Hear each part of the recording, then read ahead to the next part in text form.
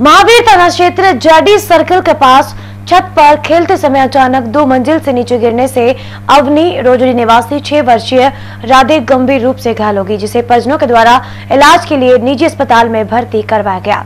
इस दौरान इलाज के दौरान उसकी रात को मौत हो गई। सूचना मिलने पर पुलिस ने बालिका के शव का पोस्टमार्टम रूम में रखवा दिया।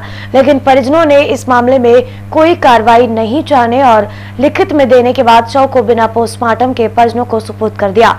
महावीरनगर थाना पुलिस का कहना है की मृतक बालिका राधे आंवली रोजड़ी की रहने वाली है। दिवाली पर अपने रिश्तेदारों के यहाँ पर आई हुई थी, जहाँ पर बच्चों के साथ खेलते समय दो मंजिला छत से गिरकर घायल हो गई। बालिका का उपचार निजी अस्पताल में चल रहा था। इसकी देर रात में उपचार के दौरान बालिका ने दम तोड़ दिया। ऐसे में मामले की जाँच की जा रही है। बच्ची का, मृतका बच्ची का नाम है बेबी उर्फ़ राधे। उम्र छः साल। निवाली सी आमली रोजड़ी। अपने ताऊ के यहाँ दिवाली पर आई थी। जो छत पर खेलते खेलते नीचे गिर गई, जिसका मैत्री हॉस्पिटल में इलाज चल रहा था। कल वहाँ से रेफ़र करने के बाद मैंने एम में रेफ़र कर दिया। आज रात में एक बजे उसकी मृत्यु हो गई परिजन कोई कार्रवाई नहीं चाहते हैं। इस पर उसकी लाश सुपुर्द कर देना